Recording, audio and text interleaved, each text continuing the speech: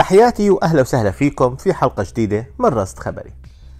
دومينيك سوبوسلاي اسم بالتأكيد قرأته في الأيام الأخيرة وأنت بتقرأ أخبار سوق الانتقالات.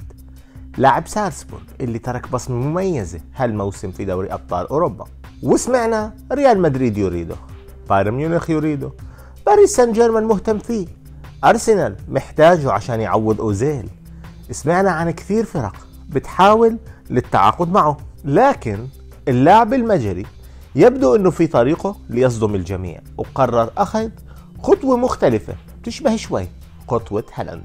فبعد أيام من التحدث عن اتصال مباشر بين زين الدين زيدان واللاعب المجري أكدت صحف ألمانية إسبانية إنجليزية إنه اللاعب حسب أمره وقرر الذهاب لتمثيل لايبزيك الألماني تحت قيادة المدرب الشاب ناجلزمان. فاللاعب الشاب المولود عام 2000 يرى إنه عليه عدم التسرع واخذ خطوة كبير كثير يروح على دوري من الدوريات الأصعب زي الإسباني والإنجليزي ويمثل فريق عليه ضغط أكثر زي ريال مدريد أو بايرن ميونخ وقرر يمشي على خطى هالاند بالاتجاه إلى ألمانيا صحيح لكن لفريق غير مطالب بالبطولات فورا. وهذا الشيء حيمكنه إنه يسقل موهبته بهدوء. يلعب في دوري أقوى من الدوري النمساوي أكيد. ويعتاد على المشاركات الأوروبية بطموح معين مقبول. بعدين تيجي الخطوة التالية الأكبر اللي ربما تكون مع فرق من الفرق التاريخية.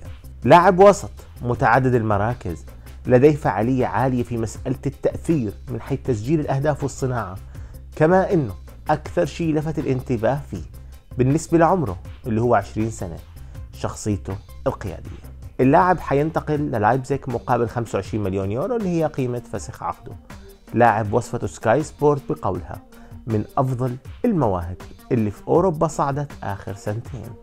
من الواضح أنه ألمانيا باتت تكسب معركة المواهب الشابة في الفترة الأخيرة لأنها بتمنحهم دقائق لعب كثيرة بفرق محترمة وتنافسية. فرق بتحاول تجيب ألقاب محليا مثل لايبزيك مثل دورتموند. عم بيعطوا لاعب عمره 16 و17 و18 مركز أساسي. وعم بوظفوه وعم ما بخلوه مهدد من لاعب مخضرم في مركزه. هذا الشيء بخلي اللاعبين الشباب يختاروا هاي الفرصة لأنهم بدهم يطمئنوا لمسيرة طويلة ناجحة. مش مجرد خطوة فيها مغامرة كبيرة لفريق كبير وبعدين يتفاجأ إنه ما عاد يلعب فالناس بتنساه وتصبح مسيرته ضعيفة عبر تاريخها. ألمانيا نهجها الجديد عم بخليها دائما تكسب معركة المواهب كما يبدو.